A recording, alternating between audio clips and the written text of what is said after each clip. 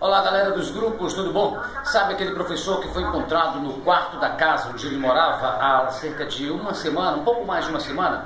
Pois é, o delegado Jair e a equipe dele desvendaram esse crime. O suspeito já está preso.